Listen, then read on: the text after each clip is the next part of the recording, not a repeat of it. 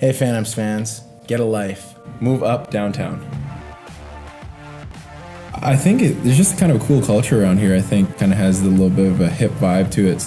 You know, within maybe like 10, 15 restaurants, all within striking distance for us. Living here, it's uh, you know obviously brand new building, um, but it still feels homey. So it's kind of a nice, you know, nice contrast there.